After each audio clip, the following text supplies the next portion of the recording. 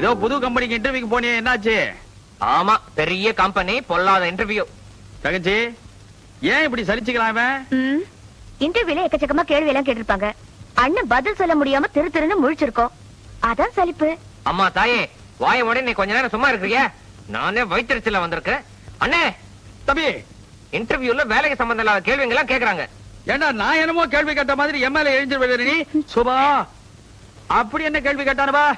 பல முட்டாள்தனமான கேள்விங்க எல்லாம் கேட்டுட்டு கடைசியா ஆரஞ்சு பழத்துக்கு ஏன் இந்த பேர் வந்தன்னு கேட்டான்.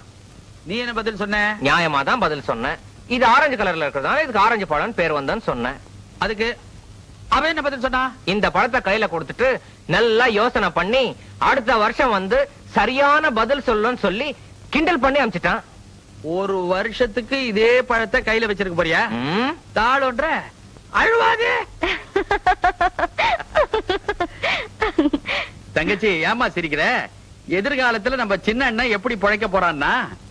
நீங்களே அந்த இடத்துல இருந்தா என்ன பதில் சொல்லிருப்பீங்க? இப்ப நீ தான் ஆபீசர்மா?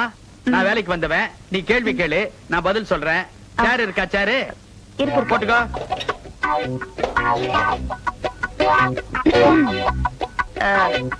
தம்பி. ஆனா அண்டமா இப்ப நான் ஆபீசர். எப்படி வேணாலும் கூப்பிடலாம். கூப்பிடல கூப்பிடலாம். எப்படி ஒண்ணா கூப்பிடலாம். கேள்வி ப்ளீஸ் ஆரஞ்சு பழத்துக்கு ஏன் இந்த பேர் வந்தது? சார் இந்த பழத்தை காது கிட்ட கொண்டு போய் அப்படி ஆட்டினா கொட கொட கொட கொட கொட கொடன்னு சவுண்ட் வரும் சார். அதுக்கு தான் இங்கிலீஷ்ல இதுக்கு லூஸ் ஜாக்கெட்னு பேரு சார்.